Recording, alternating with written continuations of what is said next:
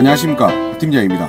오늘 건물은 돈 있으면 제가 사고 싶은 건물입니다. 현 건물에서 1호선 영대병원역까지 도보 1분이며 현 건물이 있는 블록으로 3017세대 대단지 주상 복합이 들어오는 위치입니다. 아파트에서 버스 정류장, 지하철역으로 이동 시에 길목에 위치한 건물이며 동성로, 대구 교대, 영남대학교 병원, 영남대학교 의과대학 등 직장인 및 학생 수요가 풍부한 위치로 대구 임대업 1순위로 꼽히는 땅값 비싼 동네입니다. 대구 대표 도서관, 캠프워크 동쪽 활주로, 도로 개통 등 각종 호재가 많은 곳이며 대구 아파트 재개발 붐이 일어날 때 29억의 계약서를 쓴 이 건물 10억은 벌고 시작하는 초급매물 소개해드리겠습니다. 현장에 나왔습니다. 길 건너면 명덕시장. 명덕시장 뒤편에는 영남대학교 병원이죠.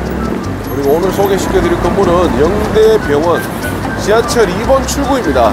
2번 출구 이 도로변에서 바로 보이는 안테나 올라가 있는 건물 있죠. 저 건물 오늘 시- 소개시켜 들려왔습니다. 이 영대병원역 지하철 1분 거리 또 뛰어가면 1분도 채 안 걸립니다. 천천히 걸어가도 1분이면 이용을 할 수 있는 위치에 있고요. 현재 이 동네가 참 좋아지죠.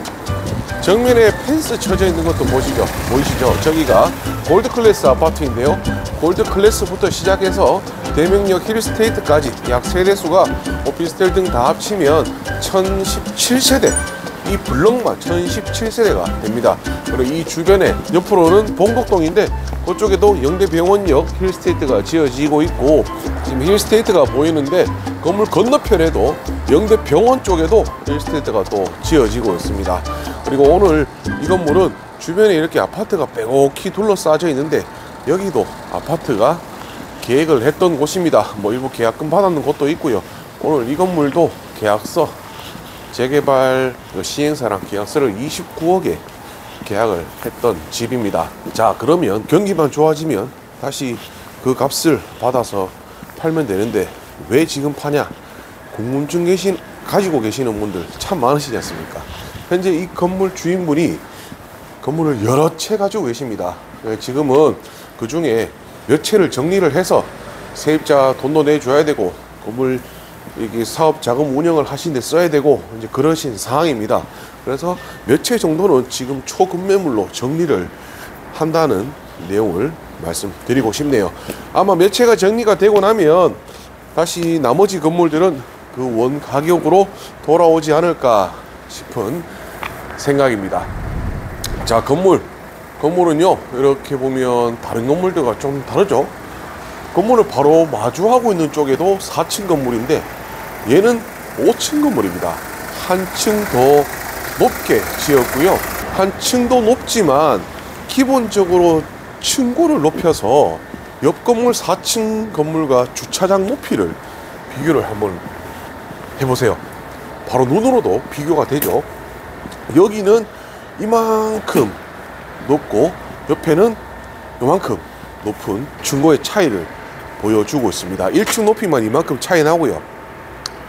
지금 얘가 옆에는 4층이고 얘는 3층쯤이 옆 건물 4층 높이입니다.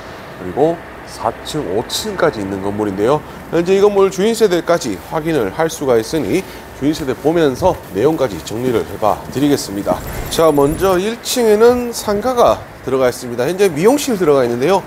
건물을 안내를 하다 보면 손님들이 이런 골목에 있는데 상가가 되나 라고 하실 텐데 요즘에는 미용실, 뷰티샵 등 예약제로 움직이는 샵들이 많기 때문에 공실 걱정은 하지 않으셔도 될 것 같아요. 그리고 여기가 바로 옆에 골드 클래스가 지어지고 나면 보행자 통로가 이쪽에 생깁니다. 아파트 거주하시는 거주자분들은 역을 이용할 때 이 건물, 이 앞 도로를 이용을 하기 때문에 상가에 대한 공실 부분은 크게 걱정하지 않으셔도 될 것 같아요. 건물 내부 한번 들어가 볼게요. 자, 상가 뒤쪽으로는 주차가 여기가 세대돼 있어요. 그리고 저 옆, 옆 건물 봤을 때 옆 건물 쪽에도 두 대. 근데 실질적으로 주차 라인은 다섯 대가 활용이 가능한데 공부상은 여섯 대 되어 있습니다. 이쪽으로도 주차가 한 대 더 있지만 현재 여기는 실- 주차하기도 조금 불편할 수 있을 것 같고 해서 아예 막아 두신 것 같아요. 동네 쓰레기가 참 많이 모이는가 봐요. 이쪽은 아예 주차를 막아 놓고 실질적으로 다섯 대 사용을 하고 있는 것 같습니다. 내부 들어가 보겠습니다. 자, 내부 들어왔고요. 밖에서 봤던 만큼 1층 높이가 어마어마합니다. 으리으리하다고 할 정도로 건물이 참 높게 잘 지었고요. 건물 이만큼 높은데 5층 건물인데 당연히 엘리베이터 있어야 될 거 아닙니까? 엘리베이터 타고 주인시대까지 올라가 볼게요. 자, 엘리베이터는 티센크로프 8인승 엘리베이터 설치가 되어 있고요. 엘리베이터 작동은 5개층으로 현재 작동을 하고 있습니다. 아무래도 5층이다 보니까 4층보다 한층 올라가서 그런지 건물이 높아서 그런지 좀 오래 움직이는 것 같아요. 엘리베이터 내리면 여기가 주인세대, 주인세대 앞에 복도입니다. 복도 이쪽 공간을 여기다 대문을 한 개 막고 이 공간까지 넓은 복도로 쓰기에도 참 좋을 것 같고요. 내부 한번 들어가 보겠습니다. 저희 주인시대 여기가 독채입니다. 아무래도 독채다 보니까 현관, 현관 입구부터 상당히 넓은 게 일단은 마음에 듭니다. 그리고 삼연동 중문, 중문 여기 요즘 목재 말고 철제 프레임이 좀 더 견고하고 좋은 것 같아요. 그리고 전체적인 인테리어랑 잘 어울리는 색감으로 해놨습니다. 거실도 화이트 텐, 화이트 톤 인테리어로 아주 밝게 마감을 했고요. 이 밝으면서 포인트는 바로 이 주방에 색감을 주신 것 같아요. 주방에는 짙은 색 톤으로 약간 파란빛 톤을 돌게 마감을 했네요. 지금 청룡에 해지 않습니까? 바로 청색이 잘 어울릴 것 같아요. 고팔릴 물건인 것 같습니다. 그리고 주인세대 거실 전망. 야 남쪽이고 시원한 전망이 참 멋집니다. 근데 이거 다 가립니다. 참 아쉬운 점이 바로 아파트가 이쪽에 들어오기 때문인데요. 아파트에 들어옴으로써 전망은 가리지만 이쪽으로 유입되는 인구들이 더 많아지고 사람들이 붐비기 때문에 이 건물의 가치는 좀더 오르지 않을까라고 예상이 들고요.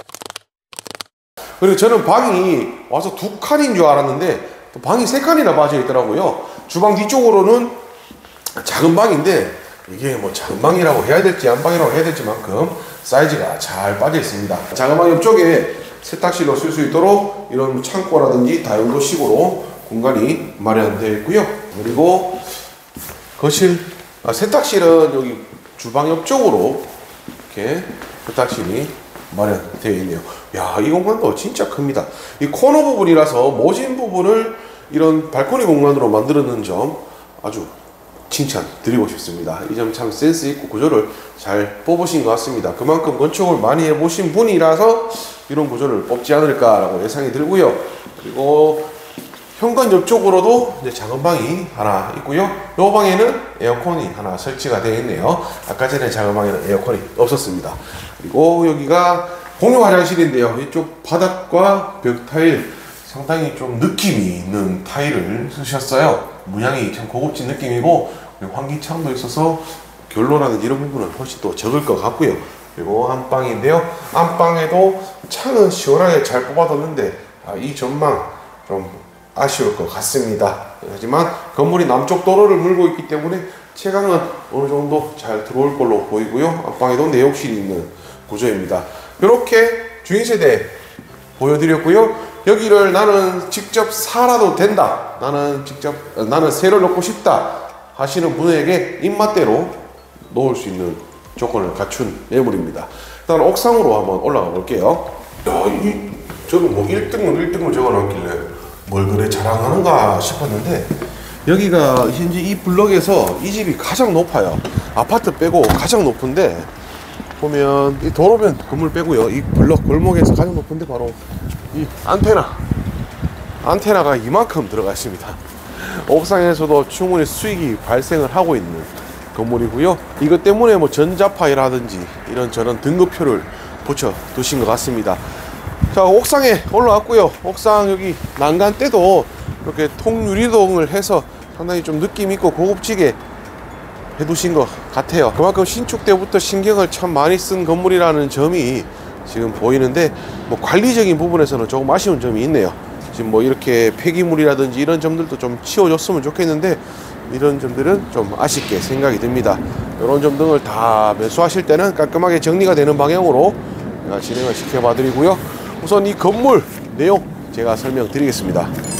상가 하나와 원룸 4개, 투룸 5개, 포룸 하나 주인 세대 총 12가구입니다. 대지는 189.22제곱미터, 건물은 599.82제곱미터, 대지 구평수 안산시 57.2평, 건물 181.4평입니다. 와 진짜 크네요. 일반 상업지역에 지어진 건물이라서 아마 이만큼 잘 지었을 것 같아요. 건축 연도는 2020년 1월 2일 날 준공이 났고요. 건물 내 엘리베이터 설치가 되어 있습니다. 현재 매매 가격, 매매 가격 상당히 많이 내렸습니다. 이제 19억에 나와 있고요. 대출은 9억 2천, 임대 보증금 만실시 7억 9천입니다. 현재 인수가 1억 9천만 원. 건물에 나오는 수익은 은행 이자 제외하면 현재 수익이 없는 상태입니다. 오늘 건물 같은 경우에는 주인분이 건물 참 많이 가지고 계셨습니다. 특히나 이 건물은 그렇게 쉽게 정리를 하지 않으려고 했던 건물인데요. 하지만 주인분 사정상 지금 이런 좋은 호재가 있고 재개발 도장까지 찍은 건물을 정리를 해야 된다고 하시니까 참 안타까운 매물이 수밖에 없을 것 같네요. 하지만 매수인분들에게는 이런 건물을 좋은 조건으로 매수를 하시면 충분히 시세 차익이라든지 수익 부분이라든지 안고 가시면서 효자 노릇할 건물이 될 것 같습니다.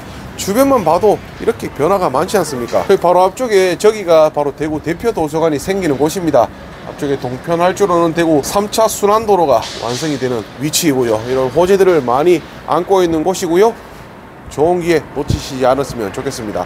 영상은 여기서 마무리하고요. 앞으로도 다양한 매물로 인사드릴 수 있도록 하겠습니다. 감사합니다.